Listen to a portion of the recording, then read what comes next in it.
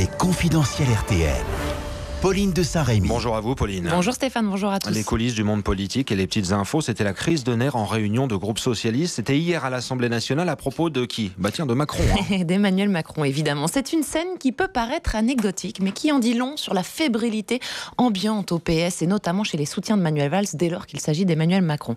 Hier matin, les députés PS se retrouvaient pour la première fois à l'Assemblée depuis la trêve de Noël, en présence du nouveau Premier ministre Bernard Cazeneuve, quand Olivier Faure, le nouveau président de groupe PS, qui dressait la liste des questions qui devaient être posées l'après-midi en séance, a annoncé que le député Christophe Castaner prendrait la parole au nom du groupe. A priori, rien de plus banal comme annonce, sauf que Christophe Castaner est un soutien très actif d'Emmanuel Macron. Résultat, l'information a priori très anodine a fait bondir une petite poignée de députés qui estiment qu'il n'a pas à s'exprimer au nom du groupe socialiste. Alors très colère, celui qui a vu rouge notamment, c'est le député euh, Malek Bouti. hein. Oui, lui, c'est un soutien évidemment de Manuel Valls. Et d'après plusieurs témoins de la scène, il était très énervé.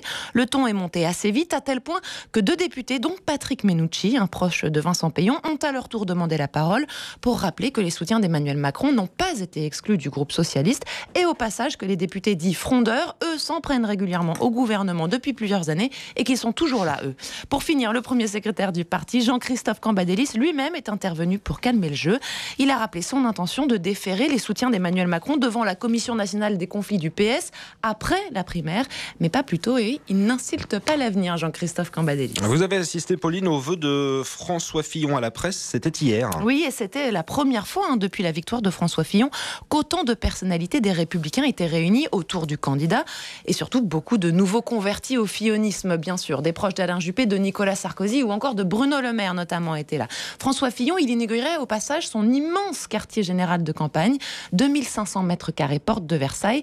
Aucun candidat n'en avait eu de si grand depuis la campagne de Jacques Chirac en 1995, d'où cette confidence au, débeauté d'un ex impressionné par la taille du local de campagne au moment où on est arrivé, excusez euh, son français, on avait l'air de gland, nous, avec notre quartier général, et de livrer cette explication pas si anecdotique. Sarkozy, lui, n'a jamais voulu de grand siège parce qu'il ne veut pas que les gens prennent de bureau.